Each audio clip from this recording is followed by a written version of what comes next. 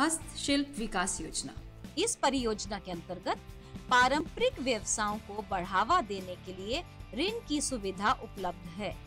इस ऋण सुविधा को परंपरागत व्यवसायों में लगे कारीगर जिनकी वार्षिक आय गरीबी की रेखा के लिए निर्धारित आय से कम हो अपनी एक संस्था बनाकर प्राप्त कर सकते हैं। नियम हस्तशिल्प में लगे कारीगरों को पंद्रह हज़ार रूपए प्रति कारीगर की दर से बिना किसी ब्याज की दर से दो वर्ष की अवधि के लिए संस्था को ऋण उपलब्ध करवाता है।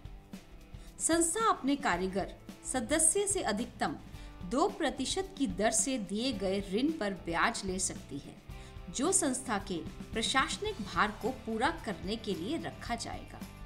इस योजना के अंतर्गत निगम व्यक्तिगत तौर पर भी प्रति कारीगर पंद्रह हज़ार रूपए का ऋण दो प्रतिशत वार्षिक ब्याज दर पर दो वर्ष के लिए उपलब्ध करवाता है।